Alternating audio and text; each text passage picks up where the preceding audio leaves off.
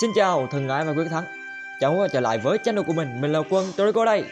Rất vui khi gặp lại các bạn trong series Run City Và chúng ta cùng đến với tập thứ 9 Chúc các bạn một ngày đầy vui vẻ nhé.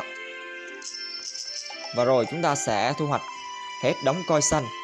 Rồi để xem chúng ta đang có là một con rồng mới. Đây là con rồng mà mình đã giành được trong trò chơi xếp hình nhé các bạn. Trong sự kiện event xếp hình lần trước. Thì đây là một con rồng epic và thuộc loại xịn đó các bạn và chúng ta lại có thêm một chiến binh rêu phong nữa này. Nhưng mà hình như đã hết môi trường này để nên mình sẽ để trong nhà kho luôn nhé các bạn. Và rồi chúng ta sẽ quay trở lại với bé rồng vừa nãy bé rồng màu tím tím xinh xinh. Người ta nói là màu tím mộng mơ đó các bạn. Và điều đặc biệt chúng ta đang thấy là một cái lưỡi rất là nhỏ đang thè ra như là một con rắn. Và bộ skill của bé này cũng rất là ngon có hệ bóng đêm ở đầu. Giống con nai ở trong uh, luyện rồng các bạn bí kíp luyện rồng đó các bạn và chúng ta sẽ nâng cấp những bé rồng này lên. Và một đặc điểm để nhận dạng là con rồng chúng ta có phải là thuộc loại vip hay không? Thì khi chúng ta nâng cấp, nếu con rồng của chúng ta thay đổi hình dạng ở những level là cấp 7 rồi cấp 15 thì à, đó là một con rồng vip của hệ đó nha các bạn. Thì chỉ là nó có khi trend chiêu thì chiêu nó mạnh hơn thôi và cũng như là hệ nó ngon. Vừa rồi, con rồng chúng ta đã lên cấp 20 cũng là cấp hết đát ở thời điểm hiện tại rồi. Và chúng ta đang có là con rồng này có một skill là nó sẽ có thôi miên đôi mắt, nên mình sẽ đặt nó là rồng thôi miên nha các bạn. Bởi vì khi chúng ta ấn thì nó có một cái là nó, đôi mắt của nó tỏa ra nhiều màu khác nhau để thôi miên đối thủ thì chúng ta sẽ đặt nó là rồng thôi miên. Rồi tiếp chúng ta sẽ vào để test xem hình dạng đánh của nó là như thế nào? Mình gọi là skill đánh đó các bạn. Được rồi, và chúng ta sẽ tiếp tục. Đấy, chúng ta thấy là nó đang thôi miên và nó cũng đang thôi miên cả mình nữa các bạn. Hình lúc nhỏ này, rồi lớn lên nữa. Chỉ còn lại khoảng tầm vài giây nữa thôi thì chúng ta lại có thêm một được là thu thập con nữa các bạn. Và chúng ta đang có là một con Storm Dragon, một con rồng bão tố đó các bạn và tại sao mình lại nhấn mạnh con rồng này? Bởi vì chúng ta sẽ có thể hoàn thành được bộ sưu tập tiếp theo khi đặt con rồng đó ra.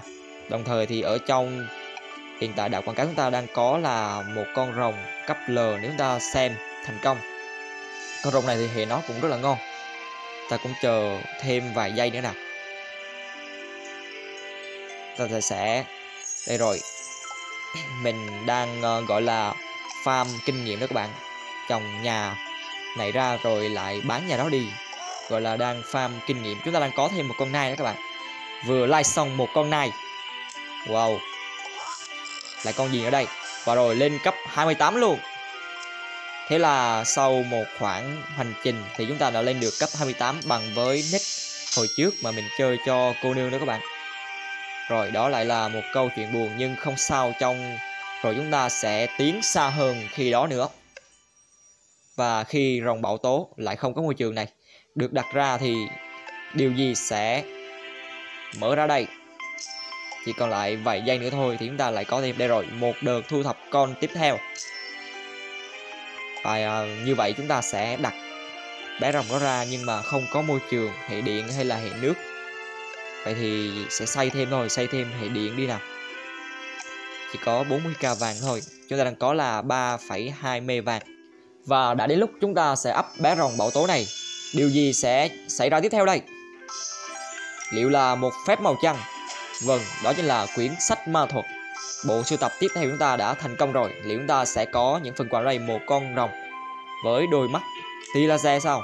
Không phải là bắn ra một cục năng lượng như là Rasengan. Và chúng ta đang có là một bịch snack đấy các bạn. Được rồi, để xem trong bịch snack có gì. Wow, 5 game các bạn, một bịch snack Loại thường mà có 5 game, trái cây cũng không nhiều và một con rồng rất đẹp, rất đẹp nữa các bạn. Chúng ta đã sở hữu một con rồng mới rất đẹp. Ấp nó ra luôn. Mình vẫn chưa từng thấy con rồng này lần nào, nó đội một cái mũ và bên trong nó có hình như là những cánh hoa may mắn. Liệu đây có phải là một điềm báo về sự may mắn của chúng ta trong năm nay? Đúng là một bịch snack rất là ngon các bạn ăn vào có ngay 5 game và một lượng vàng, một lượng trái cây, sau đó là một con rồng mang đến sự may mắn cho chúng ta. Rồi mình lại tiếp tục. Thực ra thì khi chúng ta thu thập những bộ sưu tập và ở trong bộ sưu tập đó sẽ có một số bộ sưu tập sẽ cho chúng ta những bịch snack và khi chúng ta mở những bịch snack ra thì sẽ có rất nhiều điều thú bất ngờ và thú vị trong đó và nhất là như các bạn đã thấy chúng ta vừa được 5 game và mở bịch snack ra lại có thêm 5 game nữa cộng thêm một con rồng may mắn mình tạm gọi đây là niềm vui nho nhỏ trong tập thứ 9 nha các bạn. Và rồi mong rằng những đợt sau chúng ta lại tiếp tục ăn những bịch snack gọi là thơm ngon đặc biệt và free các bạn nhé. Chúng ta sẽ đặt chiếc cúp này ra. Đây là một niềm vinh dự khi chúng ta đã chiến thắng trong giải đua xe F1 gọi là hầu như thì bạn nào cũng có ít nhất là một cái cúp, bởi vì nó sẽ mang lại chúng ta là 150 game, một số game gọi là quá thơm ngon và rồi mình đặt ở đây, nhưng mà các bạn có thấy là nó hơi 3D không các bạn? Rồi chúng ta sẽ tiếp tục công trình, còn dang dở là nâng cấp đảo trên trời lên level 3 để chúng ta có cơ hội để lai ra con rồng cấp L đầu tiên là Apocalypse. Và với công thức lai thì như chúng ta đã biết, chúng ta sẽ lấy hệ băng và hệ lửa. Ở đây mình hay lai con Corfire nhưng mà hiện tại thì chưa có. Mình sẽ lấy Soccer Dragon rồng đá banh tạm nha các bạn. Và lai với hộ vệ mặt trời Equinew thời gian có phải là 11 tiếng 12 tiếng? Nếu là thời gian là 62 tiếng thì chúng ta đã rất may mắn. Khi like ra Apocalypse nhưng rất tiếc, vẫn là để chúc bạn may mắn lần sau. Nhưng không sao, mình hy vọng là trong những tập tiếp theo chúng ta sẽ có thể like ra được Apocalypse gọi là con rồng cấp L đầu tiên. Trước khi chúng ta có thể like được con Kratos, và rồi mình đang mong chờ là nhà chiến đấu này sẽ có thể là hoàn thành để mình có thể búp sức mạnh mà leo rank dễ hơn. Như các bạn biết là rank hiện tại thì có nhiều con rồng nó khủng lắm. Được rồi, chiếc cúp hiên của chúng ta vẫn đứng hiên ngang ở đó. Và mình sẽ cho con rồng nguyên tố, rồng khởi đầu chúng ta một vinh dự là lên cấp 20 để làm gì? Để chúng ta có thể nâng cấp nhà lên level của rồng. Mới nâng cấp một phát xong là khô vàng nữa các bạn, chỉ còn lại tầm vỏn vẹn là gần 400k vàng nữa thôi. Số vàng chúng ta sẽ tiếp tục lên lại vào đợt sau đó. Rồi rồi chúng ta thử xem có lấy được con cấp lợi không nhé. Vừa xem xong quảng cáo. Trong đây là gì nào? 55 coi xanh. Quá là bất ngờ và thú vị các bạn. Như là một bài ca muôn thuở. Và dường như thì đa phần bạn nào cũng mở ra là đều như vậy.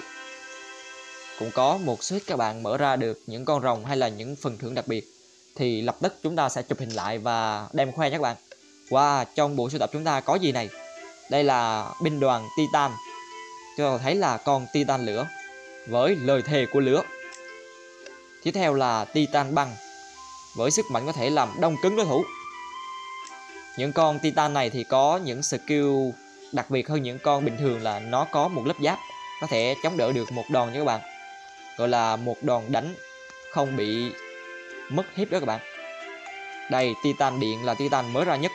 Và tiếp theo, wow, một con Titan ở bên cánh tay của nó có dấu ấn của rồng VIP là rồng cách 10 đó các bạn. Thực không thể tưởng tượng được sức mạnh của con Titan này, hệ đã ngon mà lại còn là Titan với lớp giáp và lại có thêm dấu ấn. Thật không thể hiểu được nếu con Titan đó xuất xuất trận có lẽ là một con rồng có lợi thế cực kỳ ngon đây nhưng chúng ta vẫn sẽ tập trung vào những bộ siêu tập bình thường, bình dân thôi các bạn. Chúng ta đang cần một con chuột chuỗi này. Và mình sẽ sớm la ra con chuột chuỗi đó để chúng ta lại có thêm một bộ sưu tập nữa nha các bạn. Rồi tiếp theo là phải lai nhiều con đây. Đa phần là hệ bóng tối, nhưng mà hiện tại thì môi trường bóng tối mình đang lấy để mà mình farm kinh nghiệm. Bởi vì thực chất thì môi trường ánh sáng giờ nhiều vàng quá. Các bạn thấy là môi trường bóng tối lợi hơn các bạn đây hèn gì chúng ta lại không like được con chuột chuỗi bởi vì hệ thép và hệ đất. Không cho like cùng nhau vậy thì chúng ta sẽ sử dụng là một con hệ đất và lửa đi. Hy vọng sẽ like ra được là thép và đất nha các bạn. Ở bên đây thì tiếp tục chúng ta sẽ like để xem có ra con co file không. Cho, cho hệ điện và băng. Like với hệ lá và lửa. Chính là con phụng hoàng băng đó các bạn không hiểu sao hồi trước khó lai ra con mummy mà giờ lai ra ba bốn con rồi, mà vẫn chưa thấy con co phai đâu. Vẫn hơi buồn đó nha. Tiếp tục là chúng ta đã lai xong hai con rồng và trong đây thì chúng ta đang có mảnh của một con rồng. Rồng này là có hai hệ là hệ Primer và hệ Bua thì mình đã làm gì có hai môi trường này đâu. Nếu mình lai ra thì chắc cũng để kẹt cứng rồi vì thôi, vậy thôi khỏi summon ra đi các bạn. Được rồi, và chúng ta sẽ tiếp tục hành trình. Đây là một con rồng hình như, nếu mình nhớ không lầm thì con rồng này hồi trước được bán trong bộ rồng vip, gọi là rồng thế giới đó các bạn. Nhưng mà nó vẫn là cách chính đó các bạn, hệ của nó thì nói chung thì cũng ngon đó các bạn. Nhưng mà dường như là số coi để đi xong con rồng này là 11k hiện tại thì đã khô coi xanh rồi. Nên có lẽ mình sẽ tiếp tục cuộc hành trình từ anh thờ sữa cầu này và đến là chú bé rồng cu te này và rồi thì mình sẽ tiếp tục cuộc hành trình của chúng ta. Bé rồng này thì nếu mình mà thu hoạch được, thu thập xong bé rồng này thì chúng ta sẽ có là hai con rồng cấp VR và dường như chúng ta sẽ có là hai con rồng cấp VR hai sao đó các bạn. Theo sự kiện là như vậy. Nhưng mà vì có lẽ thời gian cũng đã sắp hết rồi và lượng coi cần ưu tiên, nên có lẽ mình sẽ ưu tiên là lấy bé này trước, bởi vì mình không nghĩ là lượng coi của mình sẽ đủ để đi chú rồng taxi mặc dù hệ của nó, gọi là, rất là ao ước để có được nó. Bởi vì sao? Bởi vì nó là, giống như là một phiên bản nâng cấp của rồng nguyên tố. Nhưng mà có lẽ là cái duyên sẽ đưa chúng ta đến với bé rồng Sikuta này hơn là bé rồng taxi rồi. Vậy thì thôi, chúng ta sẽ lấy, tập trung vào lấy bé rồng siêu cô này. Mà mình cũng không hiểu tại sao một số bạn lại có rất là nhiều coi xanh luôn các bạn đi dường như là, gần như là được hai cúp luôn đó các bạn. Có lẽ là nhờ vào trò chơi xếp hình trắng nhưng mà dù là gì thì cũng chúc các bạn thành công, lấy được hai cái cúp và sẽ sở hữu thêm được một lượng game khổng lồ. Tạm gọi là như vậy. 350 game xanh nữa, kết hợp với 150 game thì có lẽ là 500 game đó các bạn. Rồi, tiếp tục là sẽ chiến đấu với con rồng nào đây? Ba con rồng màu xanh lè này các bạn. Chúng ta sẽ cho băng Luffy ra. Bữa giờ chúng ta đã không gặp anh ấy. Và giờ anh ấy sẽ được, gọi là, luyện ranh ở trong đây. Mà thực sự thì những giải đấu trong đây các bạn không nên dùng để luyện ranh đâu, bởi vì thường thường nó sẽ cho những con rồng ngang cấp với chúng ta, hoặc là gì đó. Nếu chúng ta cho những rồng quá yếu để luyện thì đôi khi chúng ta sẽ mất một lượt oan uổng đó các bạn. Được rồi, nếu muốn luyện thì chúng ta sẽ vào trong quét là dễ nhất bởi vì trong web thì những con rồng nó tương đối là yếu. Còn hai là ở trong bạn bè chúng ta lựa những bạn bè nào mà có những con rồng yếu, và đặc biệt là mình thích những người bạn mà có từ ba con rồng trở lên. Vừa lên run được, run lá thì mình sẽ nâng cấp những môi trường này. Và không hiểu tại sao thì mỗi lần lên chúng ta chỉ có là 300 đá thôi là nâng cấp được hai môi trường. Còn mình nhớ hồi xưa chắc cũng tầm đó rồi, chúng ta sẽ có cơ hội để lấy thêm một nhà sản xuất trái cây này. Những cái cột này mình vẫn chưa mua. Không hiểu sao bởi vì lượng vàng mình để dành cho xây nhà rồi các kiểu chưa có vàng để mở đất đó các bạn. Toàn là farm kinh nghiệm không? Thì đến một lúc đó mình sẽ mua hết những cái cột này để có thể tăng lượng vàng sản xuất ra các bạn. Gọi là vàng càng nhiều thì vàng sản xuất càng nhanh thì chúng ta sẽ có càng nhiều vàng và chủ yếu chúng ta sẽ thu hoạch. Được rồi, trong đây là móc để chúng ta cày ranh lý tưởng nhất. Mặc dù là quét thì đôi khi chỉ có tầm hai ba cái là cao tay thôi. Wow, và rồng Luffy chúng ta đang đối đầu với một con rồng hệ gió. Tiếp theo là chúng ta gặp một con rồng đang mang một cái phao để đi bơi. Cuối cùng là một con rồng này là hình như là chiến binh ở trong run arena vậy. Chiến binh bảo chúa thì phải. Và rất là bất ngờ rồng Luffy chúng ta đã lên được run B cộng. Đó quả là một tín hiệu tốt thưa các bạn và tiếp theo đây chúng ta sẽ cho bé rồng thôi niên của chúng ta ra trận để xem sức mạnh của bé như thế nào. Rồng băng Luffy tạm lưu lại để cho rồng thôi niên ra trận. Và chúng ta có thể thấy là một luồng hơi màu tím được thổi ra. Không giống lửa lắm, giống như là một luồng khói thôi niên vậy các bạn. Thôi chúng ta cứ cho nó là ngọn lửa phục thù, giống như là con rồng hình, nếu mình nhớ không lầm thì giống như là bé rồng uh, Godzilla ở trong Benic Toriko đó các bạn ngọn lửa cũng tương tự như vậy.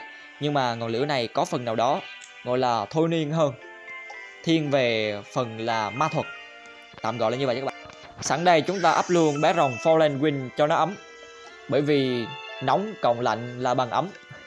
Theo mình là như vậy. Tiếp theo chúng ta lại được chiêm ngưỡng màn thổi lửa ma thuật ngọn lửa thôi niên của bé rồng thôi niên chúng ta. Trận đấu rồi bắt đầu và con rồng Sun San sẽ là người nhận lấy ngọn lửa thôi niên. Đối thủ tiếp theo chúng ta cũng mang trong người một ngọn lửa nhưng nó vẫn là chưa đủ. Tiếp theo là một con rắn bộ lạc. Và lửa lava từ ngọn khói màu tím của bé rồng thôi miên của chúng ta đã hạ gục được chiến binh trong bộ tộc bộ lạc vừa nãy. Để xem khi chúng ta trend chiêu thì rồng thôi niên sẽ có điều gì bất ngờ thú vị nhé.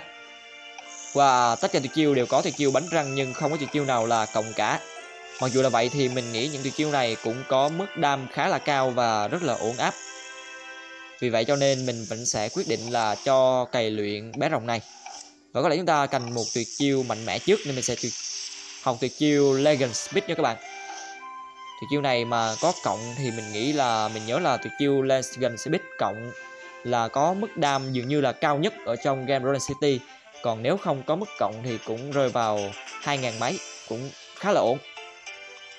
Như bạn thấy thì chúng ta đã lên được run natural 1 rồi, là run lá đó các bạn. Và mình vẫn đang trông chờ, vẫn đang hy vọng là cái cột này sẽ sớm xây xong.